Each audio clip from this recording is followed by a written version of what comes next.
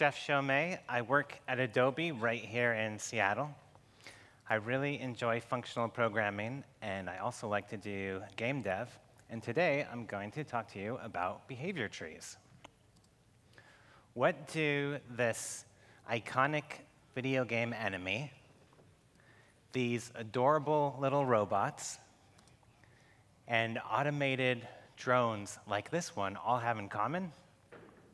The answer is they're all have AIs powered by behavior trees. Now, when I tell people about behavior trees, most of the time they've never heard of them before. And I think behavior trees are a really fun and interesting pattern, so I'm excited to share them with you. I'm going to start off by going through what a behavior tree is, how it works, why you might use it. Then we're going to look at how to implement one, especially in a language like Elixir. And at the end, I have a fun demo where we will iteratively build up our own AI. So you're all familiar with trees. A behavior tree is just a tree that has some specialized nodes. And the first type of special node is the leaves. The leaves of a tree are the actual behaviors or actions that this AI can do. And so up here, I have the leaves in yellow, and there's going to be some corresponding code that knows how to do what each of these different behaviors are. And the behavior tree is always going to have one of these actions active at any given time, and that can either fail or succeed. And when that happens, it'll move on to another leaf, another behavior, and then that will run. That's the idea, but this isn't uh, uh, too interesting yet. The other kind of node are the internal nodes. Those are called control nodes, and they describe how you move through the tree from one leaf to another. This is one type of control node, one of the common types called a selector. And the way a selector works is it runs its first child, and if that child fails, then it will try the next one. And if that fails, it'll try the next one. And it just keeps going until it reaches a child that succeeds, and then the whole selector will succeed. If it runs through all of its children and none of them succeed, if they all fail, then the selector node fails. So in this very simple tree, it will start out, this is like a behavior tree for a little RPG character. It'll start off with the first child, which is fight enemy. And if that fails, then it'll move on to do side quest. Uh, if that succeeds, then this whole thing will succeed and it starts over again. Uh, but just one layer like this is very simple. So the interesting thing happens when you build up more. This is a new kind of control node. So this is called a sequence, and it's basically the inverse of a selector. It starts with its first child, and if that succeeds, it moves on to the next one. And if that succeeds, it keeps moving on until all the children have succeeded, and then it will succeed. If any of a sequence children fails, then the whole sequence fails. And so I'll just walk through how this would work. Uh, it starts, it moves down to the first child. So in this case, it would be choose enemy. And let's say that there are no enemies in sight. So choose enemy would fail because a sequences node, uh, if any children fail, the sequence fails. The sequence would fail, and the selector would move on to its next child, which is do side quest. But if choose enemy succeeded, it would move on to approach enemy, and if that succeeds, it would move on to fight. And if that succeeds, then the whole thing uh, succeeds and it starts again. And so you can see by just building up this tree and adding more and more structure and more control nodes, how you can build up some interesting behaviors and some rather complex behaviors that are described purely by the shape of the tree. Where do you see behavior trees? They're used very commonly in video games. They're also used in robotics and the part that I think is of most interest to everyone here today is you can use them for bots like chatbots uh, or for automation. In fact, the reason that I started looking at behavior trees in Elixir in the first place was that my colleagues and I wanted to do some automated testing, and we wanted to hit our API in ways that would emulate real users. And so we thought of building up behavior trees to, to approximate that. Some of the reasons that uh, people like to use behavior trees, one of them is that it's just data, and data is simple. Uh, it's objective, we know what trees are and how they work. There's only so many things you can do with it. So nice and simple. It's also declarative, which means you can look at how the tree has been defined and kind of tell what's going to happen. You don't have to wait till runtime to debug it. But another nice thing is that it is serializable, which means it's possible to have a visual editor where you can build out your tree and then import it into your code. This is an example of a plugin for the popular Unity game engine. And it allows you to visually build up some very interesting and complex behavior trees without even writing a single line of code. The other big reason that people like behavior trees is scalability. This is a huge behavior tree, and it might look complex when you first look at it, but the thing about trees is a whole tree is just made up of subtrees, and those subtrees are made up of other subtrees all the way down. And so you can just look at one of these subtrees and just isolate that and focus on that and make your changes. Uh, and that's nice to simplify. Or if you want to add more behavior, you just replace one of these nodes with a new subtree. Or you could even take this whole tree and just put that whole thing in an existing larger tree to make something even bigger.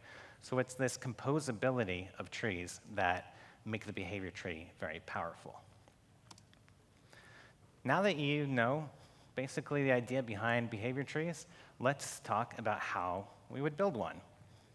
So there's a little bit of hand waving here, but the idea is each node in a behavior tree has a state. And you start by walking through the whole tree and set everything to ready. Then you begin at the top and you work your way down to a leaf. And as you're moving through each node, you set it to a running state. And when you reach a leaf, you run it. It goes off and does whatever it's going to do. Meanwhile, you go back up to the top of the tree and work your way down again, following the path of running nodes. And you keep doing that 60 times a second. And at some point, the leaf is going to fail or succeed. And when it does, it sets its state back to, or from running to either failed or succeeded. And as you're going through this tree, you'll hit it and see, oh, if it's failed or succeeded, you stop and you move on to the next node based on the control nodes. And as you're going up, you set all the nodes back to ready, and as you're going down, you set them all back to running. But wait a minute. I talked about side effects and mutation and these life cycles. That sounds like OOP. And it makes sense because these come from, like I said, games and robotics where you're using Java and C. So that's the paradigm. But we can't do that in Elixir. So how do we do this? I tried to do this basic pattern in a functional style, which involved threading a lot of state through this mechanics of recursively walking a tree. And it worked, but it was messy and confusing, and it just mixed the like, business logic with the mechanics. It was hard to work with. And then I learned about zipper trees. How many people here are familiar with zipper trees? Cool, not very many people. Well, I'm going to take a digression and talk about advanced data structures. Now, when I say advanced data structures, uh, I mean something that's built for a specific purpose that relies on primitives like lists and trees. Uh, and the important part is it gets its functionality not from code and logic, but rather from the shape and structure of its, its data. And the example that I'll use is a zipper. There's a couple kinds of zippers. There's a zipper list and a zipper tree. They both work very similar. Uh, one works in one dimension and the other works in two dimensions. So conceptually, the idea is imagine a whole tree, and now instead of thinking of it as many different nodes, just focus on one node anywhere in the tree. And just place your focus there and kind of ignore everything around it. And if you do that, you can kind of treat this whole tree as a single value. And imagine you have a way of passing this whole thing around so that you can keep what that focus is. But there's also an API that will let you move from wherever you're focused. You can maybe move to the child to the left, or move up, or down, or to the right. And then you can pass that new focused version of the tree around. That's the idea of a zipper. And so this is what it looks like in code. Uh, we take a regular list, turn it into a zipper list, and then you can just move to the right, you can move to the left, you can change whatever's focused, and see what that value is that you're focused on. It's very simple and elegant, and it says exactly what you want to do. There's no mechanics here. You're not keeping track of an index and the length of the list and all that type of stuff. Uh, you're just saying what you want to happen. So it's nice to work with as a client, but what does it look like in its internals? This is the, the magic data structure of a zipper. So you keep track of what your focus is, and then all you need to do is have a list of everything to the left of your focus and everything to the right of your focus. And if you want to move to the right, you just put your focus in the list that's to the left of you, and you take the head of whatever's to the right of you and move that into your new focus. And you can just move right and left in that manner. And if you try to move to the right and there is nothing to the right of you, it's an empty list, then you know you can't go there. And so it's very clean and simple. There's no logic. You're just looking at data to figure out how to get this behavior. And that's kind of the idea. And I just want to point out that it works for trees as well. Same thing, although you can move up and down, and you're going to have to keep track of more than just right and left, uh, but the same basic idea. So now that we are familiar with a zipper tree, let's take another look at how we would build a behavior tree in Elixir. And we'll base it on the zipper tree. So the first thing we'll do is throw out the concept of life cycles. We don't need running and ready and all that. Uh, because if we rely on a zipper tree, then we have a focus node. And so if we just make sure that we are always focused on one of the leaves, one of the actions, then that is the active running node. Uh, and we don't need to run through the tree from the top to bottom anymore. We just pass this tree around. Uh, we can do the behavior. And then at some point, we have to say, hey, that failed or that succeeded. And we need to make sure that we move the focus to the new, whatever the next behavior is. Uh, but again, that is the new active node. So that, like, conceptually makes sense. Uh, there is a little bit of a trade off. Because we're not running through this over and over again, we lose some of the concurrency constructs that you have. There's two nodes in behavior trees that allow for this. There's a parallel node, which will run all of its children at the same time, and then if any of them fail, it fails, or the inverse of that. And there's also a thing called an, a priority node, which it'll run its child, but each time you run through the tree, it will look at nodes that have a higher priority, and if any of them needs to be dealt with, it cancels whatever's running and switches to that higher priority node. Um, so we can't really do that because by definition, there's a focused node of this tree. Uh, so we miss out on those, but I think in the context of Elixir and where you would use Elixir, we don't really need the idea of a game loop. So I think that is an okay trade-off. Let's look at what some code might look like to use it with this new approach. So the first thing that we would need is a way to construct this tree. Uh, and there's just some simple constructors to make these different kinds of nodes. You can see the select and the sequence node that I pointed out before. And they just take a list of children, and you can nest them to build up a tree. And it looks like the insert. One thing that I want to um, point out is that I'm using atoms as the leaves here. I think that works rather well. I kind of picture the tree as just spitting out these messages of like, this is what I want to do, this is what I want to do. And there's going to be some handler code somewhere else that is listening to those and pattern matching on them to go do whatever it has to do. And so that's a nice Elixir pattern, message passing and pattern matching. It works well, uh, although there might be some scalability issues with it because if you want to add some more leaves, you need to change your handler to match against them. Uh, so you could actually use whatever you want. It's polymorphic leaves here, and so you don't need to use atoms.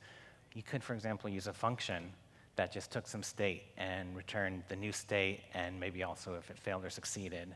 Or you could call a process, or you could even use a task, and that would make the leaves more contained uh, and possibly more scalable. But the leaves can be whatever you want, so uh, you're free to do whatever you need. Okay, back to this. So now we have a data structure, but it's not stateful yet. So the first thing we have to do is start the tree, and we need to somehow descend to the proper leaf, and we'll look at that in a moment. Uh, but as soon as we call start on this, it is now a zipper with a focus. And then we need to have a way of saying that worked. So we tell it it succeeded, and it will move to the next node. And again, we'll look at exactly how that happens. And then we also want to be able to say that it failed, and uh, it should move to the right node. And then we want to be able to see what the current focused action is, so we can just look at that. That's the idea for the API of this behavior tree. And you can see that it's very simple. It's saying what you want to do, not how you want to do it. Uh, and it's all in the terms of your domain, kind of the business logic. So, how do we implement that?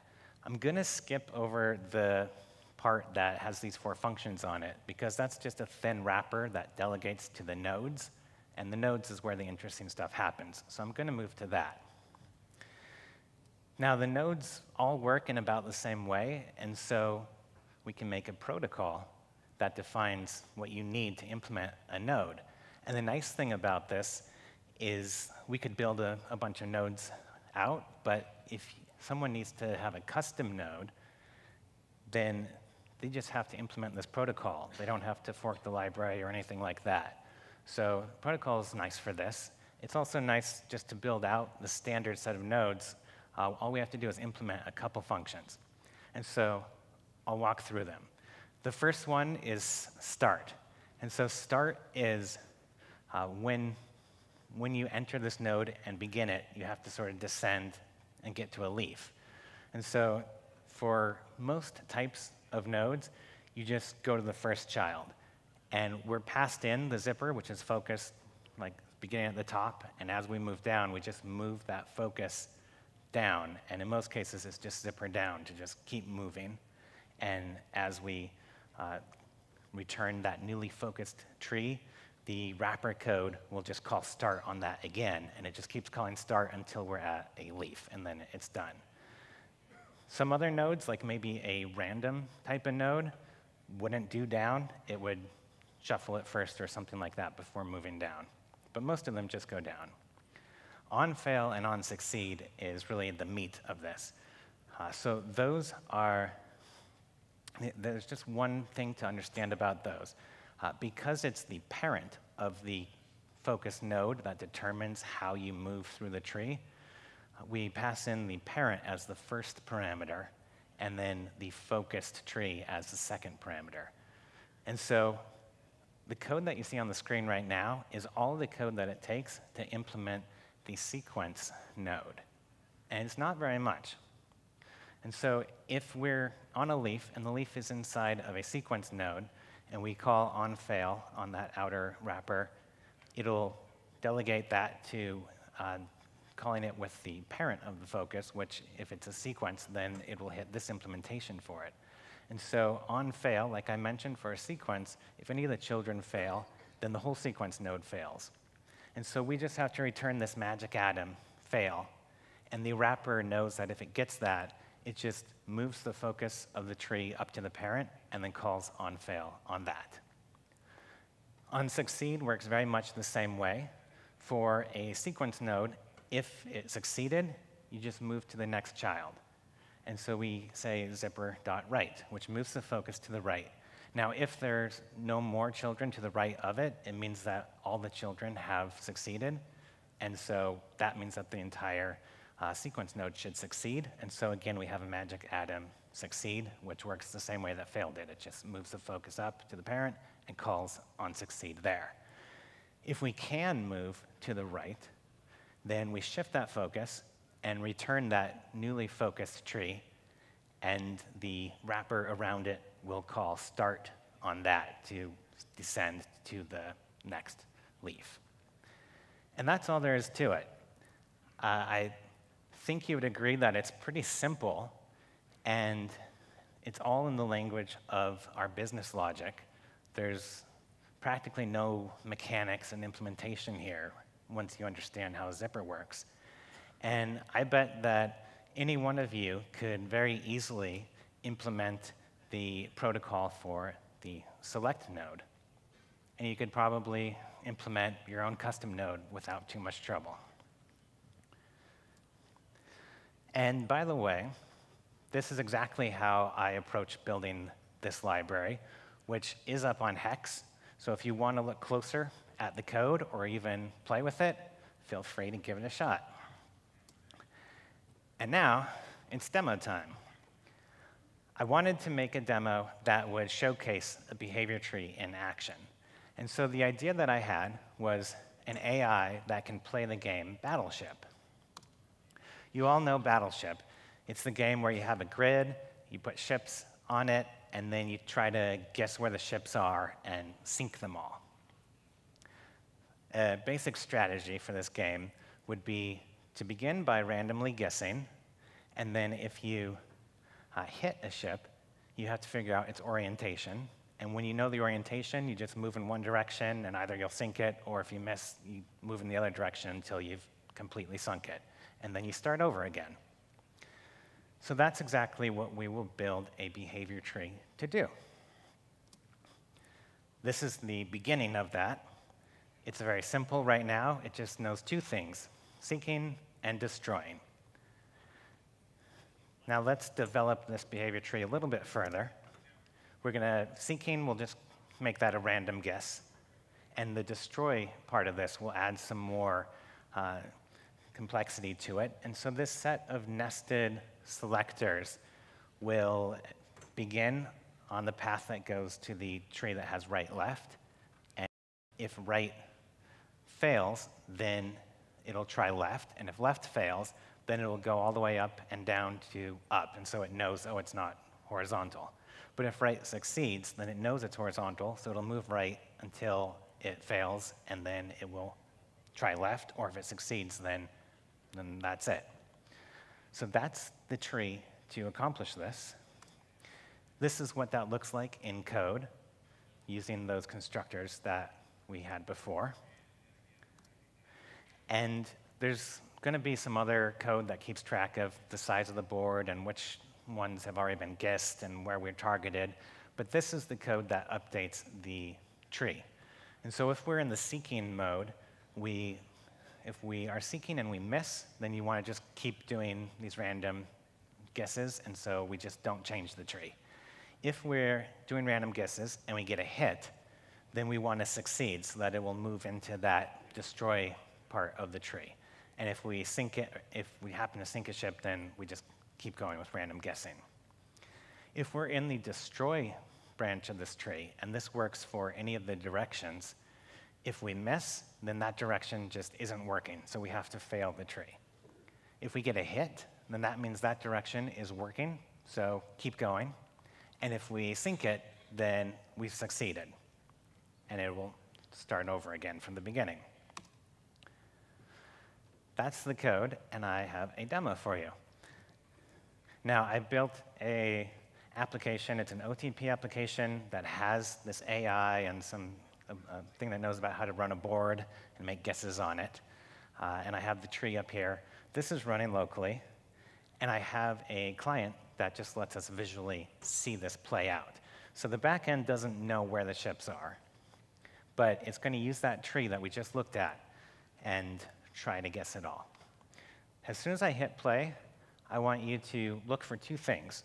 I want you to first see how it begins randomly guessing, and then notice as soon as it gets a hit, it'll start going into that destroy phase. And the second thing to look for is to notice how it always goes to the right, and then to the left, and then up, and then down. Ready? So this is all random. It got a hit, and it went right, left, up, down. same thing. And then once again, there it is. Our behavior tree has played Battleship.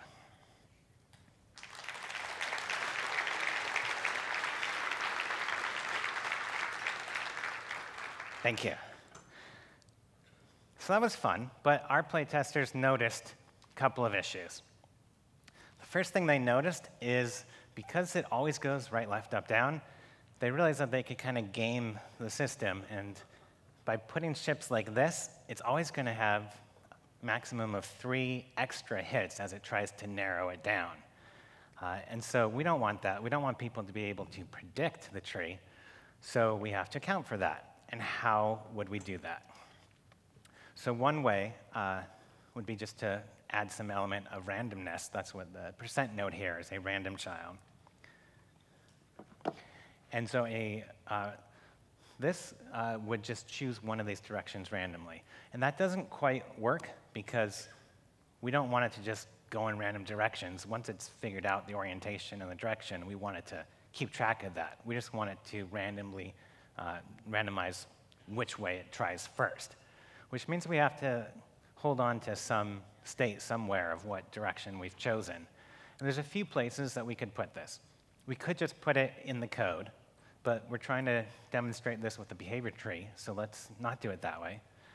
Another solution that would work really well is to make our own custom node, like something like a persistent randomizer or uh, something like that, where it when it starts, shuffles all of its children, and then it just works like a normal selector. That would work just fine, and it kind of shows how you can do some pretty interesting things in a custom node, even changing the shape of the tree at runtime, which is pretty powerful. Um, but I want to show you that we can also solve this purely by changing the shape of the data structure and not changing any code. So this is that destroy side of the tree. And it looks a little complex, so I've just drawn some boxes around it. Essentially, I've just inserted this randomizer node in between each of the uh, selector layers.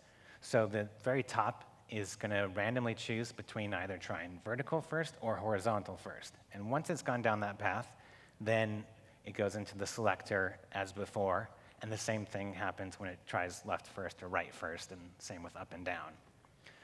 It looks kind of confusing, but uh, it's not terrible with just these four different states that we have to permutate. And the code for it looks even better because we can give a name to these subtrees and then just reuse it uh, like we are here with check horizontal and check vertical. So pretty manageable, and that should solve the predictability problem. There's another problem. If you put ships that are touching, then uh, it'll go through and sink a ship and kind of forget that it had hit some other ships around it while it was trying to narrow down. And you end up with moving on to random guessing when it could just optimize by knowing that it's found some other ships already and going through those before it goes back to random guessing. So we can deal with that as well. We need to develop the tree a little bit further. And I've got some new nodes on this tree, so I'll walk through it. It starts off the same as before, the random guessing. Check adjacent is that whole random tree that I had showed you a minute ago. And then this new node is called a repeat until fail. And so inside of that, we have a sequence which begins with check for collateral damage. Now, we need to add a little bit more code here. As we're hit, getting hits, we need to keep track of all the hits that we get. And then if we get a sunk, we need to know how large the ship is so that we can tell if there were any hits left over. And that's what we're going to check for collateral damage. Um, so if there is no collateral damage, then this will fail. And because it's in a sequence, the sequence will fail. And because that's in a repeat until fail, that will actually succeed, and the whole tree will start over again. If there is collateral damage, it'll move on to the next node, and the check mark means always succeed, and its child is check adjacent, which is that same node that just we've looked at before a few times. uh, and that will narrow down on wherever the, the collateral damage is. And then, because it's in a repeat, it will go back through this tree with check for collateral damage, and it'll keep doing that. The reason we use always succeed is we only want to escape from this loop if check for collateral damage fails. And so we ensure that by using always succeed. So you can see how by working these different control nodes against each other, you can build up some pretty complex behavior. That's all we need to solve these two problems in our tree. And so I'm going to show you one more time new and improved version of our AI. I'm just going to change, oops, not there. So right now, I'm hot reloading the AI to use the new tree. And I have a new board. You can see this one has a lot of touching ships. So as I run this, keep a lookout for the cases where, like in that case, it happened to go right and then left first, but in this case, it went left first. And you should see it sometimes going up and down instead. So we've randomized the way it goes. And the other thing, like right here, it's got hits in multiple ships, and you'll see that it's going to sink all those ships before it moves on to randomizing again. I think you get the idea. Thank you. Thank you. By the way, this is the code uh, for that tree, making use of the, uh, the randomized version of it. Uh, and so that's it. I hope that you, uh, now that you know about behavior trees, you agree with me that they're fun and cool. And you might even find a place that they could help you out in one of your projects. But most importantly, I hope you take away the idea of using data structures instead of code to uh, add some elegance and simplicity to your projects. And I have some links here to, if you want to go look at the hex package that I put up or play the game yourself, you can uh, feel free to. Thank you very much.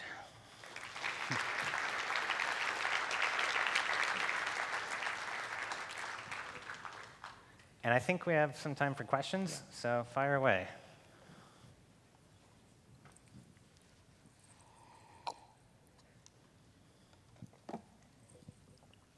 Have you implemented this behavior tree package in a project in production or seen that done? It, and did you make it? Yeah, I made the behavior tree library that I showed you on Hex, and this Battleship Gisser is the only thing I've used it for right now, mostly as a proof of concept and something to show it. Uh, so it hasn't been used outside of that, that I'm aware, and only 60 people have downloaded it, so probably it hasn't been. But um, we might use it, as I was saying, for doing some automated testing, um, but it hasn't yet. So if you end up doing that, definitely let me know, post some issues or something if you run into anything, and I hope that it can be used. Uh, this is, yeah, hey. Um, uh, so this is a really new thing for me to learn right now. So this is a really great talk. Thank you. Thanks. I'm curious um, if there's a way to use this to maybe uh, explore very deep data structures. Uh, interesting question. I haven't thought of it in that term before, but you might be able to. If, it, if there's this idea of trying out a tactic and then that might fail or succeed and switching to a new tactic, then this would certainly help with that. Uh, you, the alternatives are a bunch of if statements or a state machine, and so the benefits I mentioned about scalability and um, just simple, simple data is why you might use this instead of another approach. So if you have enough reason to do this, then you probably could. But it might not be necessary to do that. Any other questions? I don't think so. All right. Thanks again, everyone.